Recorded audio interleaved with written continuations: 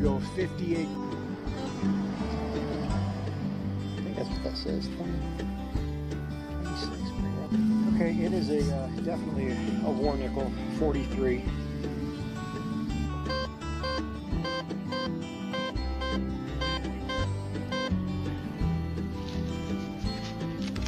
It's a little bag with coins in it. Hey, hopefully you can hear me. It's pretty windy out here today. Uh, we're back here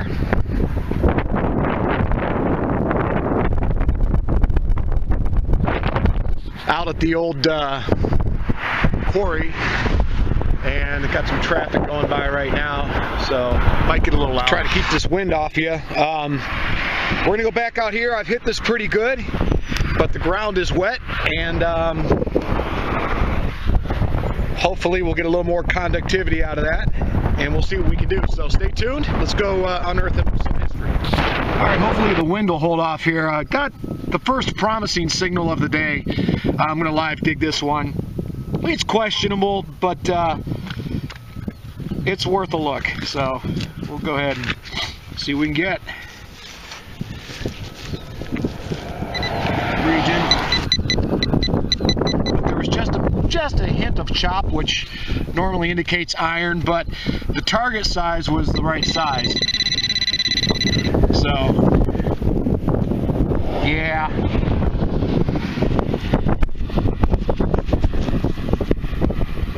Big old chunk of uh, iron. Not sure what that belonged to.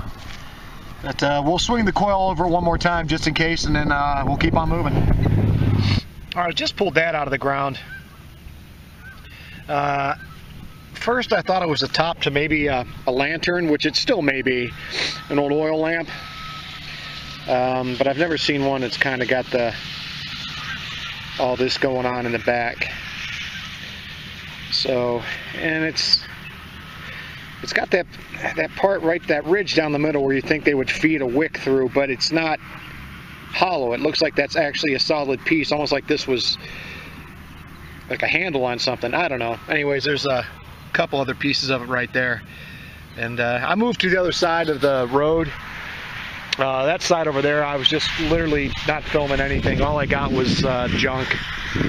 Um, so far, I've only been here five minutes, and this is the second hole I've dug. But uh, anyways, we'll keep on. Hey, this is actually uh, a semi-surface find here. Hold on, let me get my glove back on. I don't want to be playing with rusty sharp metal without a glove on but um,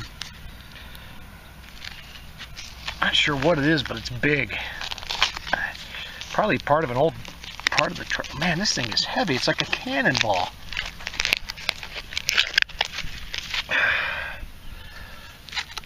So sorry for the lovely camera work. This was actually like on it somehow and this here weighs an absolute ton. I'm not even kidding. I, I'm having, I'm not a strong guy, but I'm having a hard time lifting that up. That thing is incredibly heavy. It's got two almost two little uh, legs here, two little feet that it looks like it would have it would have sat on. I don't think I'll be packing that one out. That is just, I definitely can't carry it around with me. That thing is huge.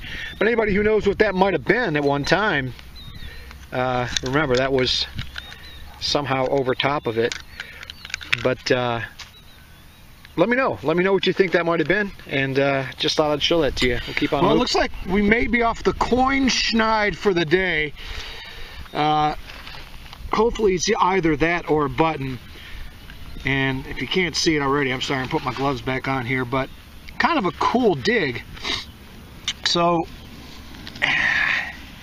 getting kind of an iffy signal but I've been digging a lot of them because we're just having a crummy day out here.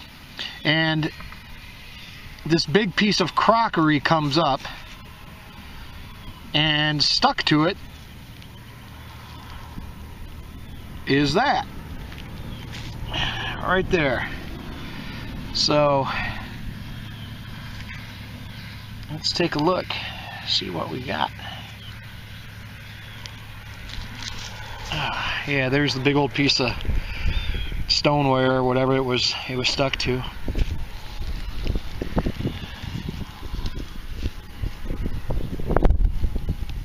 It's really green.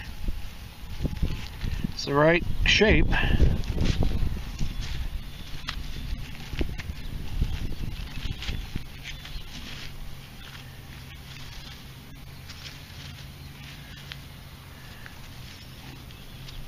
Man, it's got beautiful patina on it. All right, let me get my uh, toothbrush real quick and uh, I'll be right back. All right, folks, I don't know what I have here. I'm, I'm assuming an Indian just because of its condition and I've pulled a ton of Indians out of this field. Um, you know how it goes at home, you're probably getting a better look at it than I can actually see out here in the field. I can, it looks like there may be a bust on there of some sort. I've got this on macro mode. I hope it's actually focused. I can't tell out here. It looks like it is. Um, and then on the back or front, whatever that is, well, it's got a reeded edge. If you can see that right there. Huh.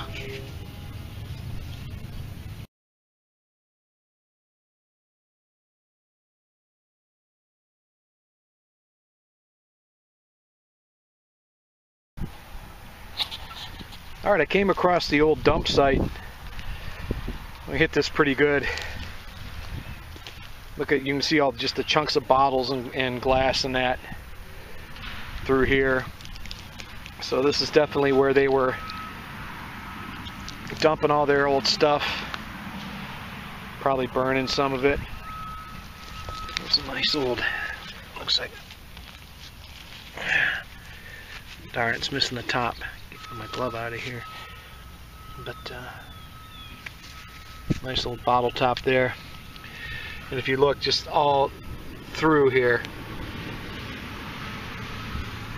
nothing but glass. Different colors, different sizes. Like a dark green there. Man, it'd be nice to find something intact, but no, we're in a farm field. Even if it was, it's been plowed a million times and this is what's left of it. So yeah, I'm gonna go over this really, really good. Hopefully something fell out of their pocket while they were taking care of the trash. We'll see. I just pulled that out of the ground. Um, well, it's about to fall. I have no idea what it is. It's got uh, something on the end there.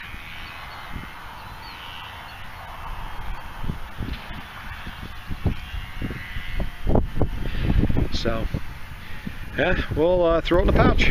Keep on. got some kind of old latch or uh, buckle. Just dug that out. It's got a lot of uh, buildup on it, corrosion. I mean, uh, rust. But it looks like it was definitely a buckle. And I don't know what all that is that rusted to it. But that's a solid lump of rusted something on there. So cool old buckle though. And we'll uh, keep on moving. Uh, looks like we may have our second, well, still haven't identified the first one yet, but it looks like another uh, possible coin. Good green patina on it. Let me get a glove on here. And if this is a coin, the good news is there's still a good signal down in the plug or down in the hole. So there may be more than one. Um, so let's clean this bad boy off. Alright, there's the shield. Yeah, gonna be another uh, Indian. Yeah, can't really make out the uh, the bust and the headdress, but you can definitely see the shield and the one cent on the back. So we got an Indian for sure. And uh, we're gonna keep on digging.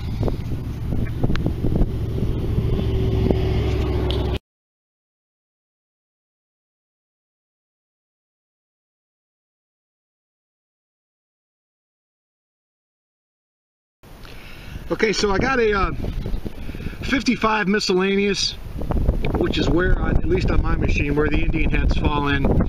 And uh, I actually stuck my shovel in the ground right here to go ahead and dig. And when I look down, can you see it? It's it's a surface find. It's right here.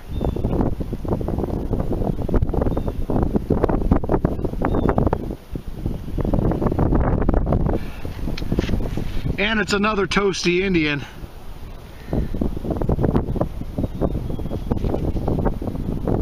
Yeah, the bad thing about these farm fields is they put a lot of chemical and fertilizers in them. And over the years, it just wreaks havoc on these coins and breaks them down. So it's hard to find a real good keeper. I mean, they're all keepers to me, but uh, something that I can display in my showcase. So, all right, another Indian on the day. Let's keep moving. Uh, may have a coin ball here. You can see that rim right there. Well, it looks like a rim.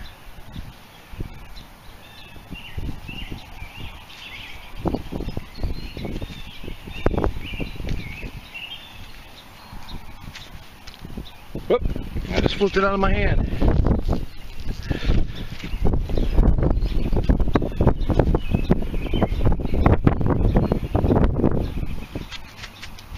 Wow, memorial. Shocking out here.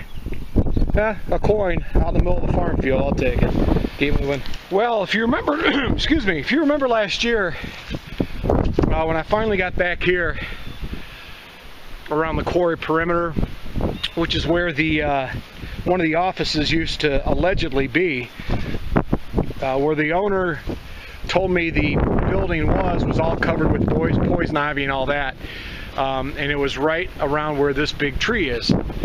So I couldn't even consider getting back in there. Take a look.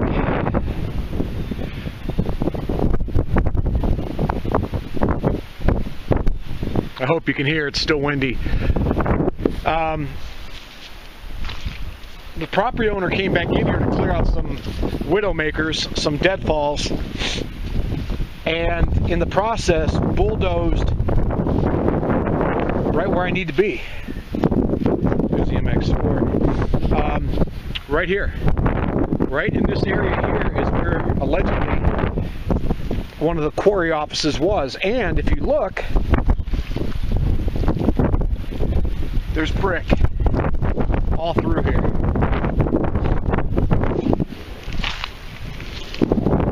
So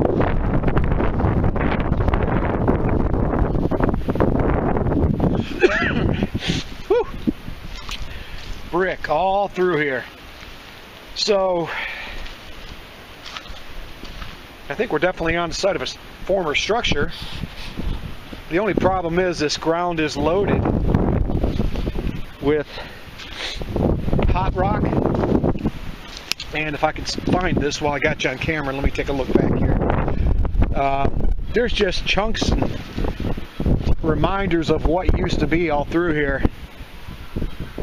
I can't find it now. There was a, uh, laying on top of the ground, a huge rusty uh, spike. Not a railroad spike. Looked like something that would, like a fastener type thing. But uh, anyways, here we are. Good and bad. The bad is, them since they bulldozed the top level over here, I can hit that, but if the, anything was in there and rolled to the bottom of that pile, there's no way I'm going to detect it. But uh, let's get to it.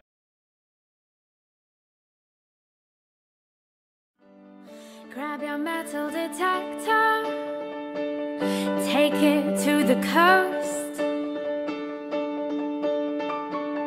You will find some treasure